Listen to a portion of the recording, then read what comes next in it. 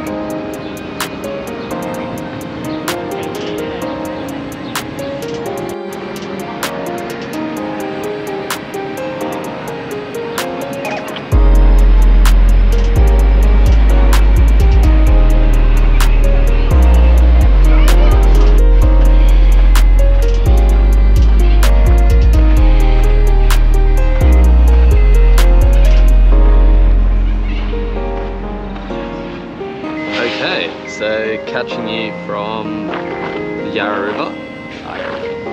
Yeah, the Yarra River. Um, just as you saw, went to Fitzroy because uh, I wanted to visit the Patagonia outlet there. There's, there's barely any around, like around Canberra and all that. Then took the tram back into um, the city, walked around, got lunch, had some pasta. Um, got some gifts for Zane and looking for mum and dad and got my yeah just walked around just explored Melbourne again.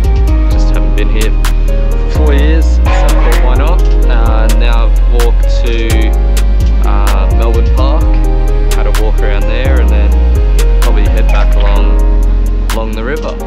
So yeah it's been a pretty chill day but it's kind of what this is about. Pretty been chill, going about about seeing things and just basically walking around. Uh, so yeah, I'll probably catch you when back in Port Melbourne.